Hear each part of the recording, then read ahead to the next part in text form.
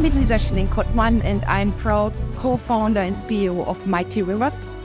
I think uh, the the key challenge that we found out today was the the play of the hunger for startups to, to, to drive top line, and on the other hand, and be smart on building your brand.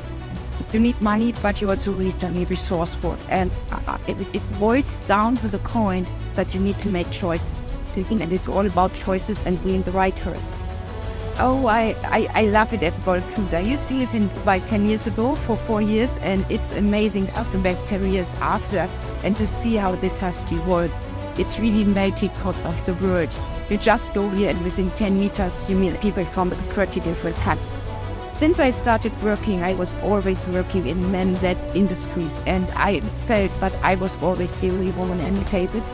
And I think you can also take it to an advantage and at the end, do be a great host meant just boil water and you can smart them out using all your female power and energy.